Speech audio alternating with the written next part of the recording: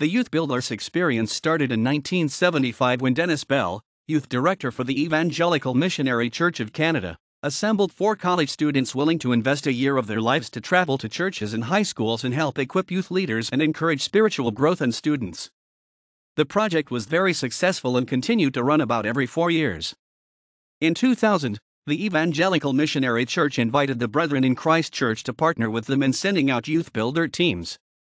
In 2002, the Center for Student Leadership was organized to give more focused attention to the development of young leaders through youth builder teams and other leadership initiatives.